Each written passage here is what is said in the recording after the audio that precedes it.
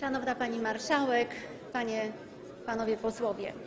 Nie będziemy jako Nowoczesna popierać tej poprawki, bo ona w niczym zasadniczym nie zmienia tej ustawy. W niczym zasadniczym nie poprawia tej ustawy. Ta ustawa jest dalej niekonstytucyjna, bo narusza trójpodział władzy i podporządkowuje sądownictwo, które powinno być niezależne w postaci organu sądu, jakim jest dyrektor sądu, ministrowi sprawiedliwości, który jest czynnym politykiem, a sądy od polityki powinny być daleko. Dziękuję bardzo Pani Marszałek.